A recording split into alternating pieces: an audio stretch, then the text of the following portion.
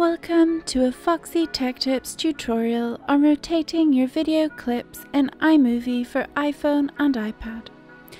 If you find this tutorial helpful, please consider subscribing to my channel and liking the video.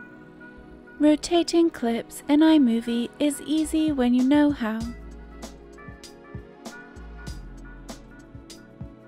When you are in the project editor, tap the clip you want to rotate.